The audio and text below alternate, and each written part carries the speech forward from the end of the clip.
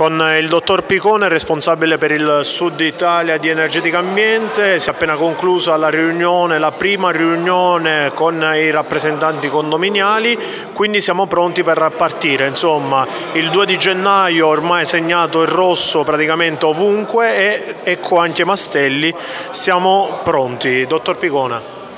Sì, effettivamente la macchina è ormai iniziata, come potete immaginare una macchina eh, articolata e complessa, eh, la società si occupa di questa eh, attività di start-up su tutto il territorio nazionale, il momento in cui le macchine partono, i motori ormai veramente sono già messi in moto e quindi in questa occasione, questa mattina, abbiamo chiesto la partecipazione attiva degli eh, amministratori condominiali perché proprio da loro si partirà con le attività di consegna dei mastelli che sono alle mie spalle e che sono la, la vera novità del servizio sul comune di Trapani. Trapani.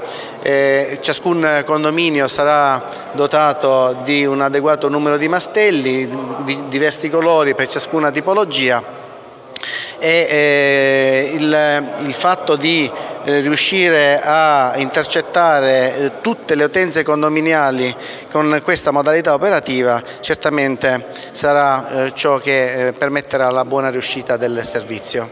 Trapani è pronto?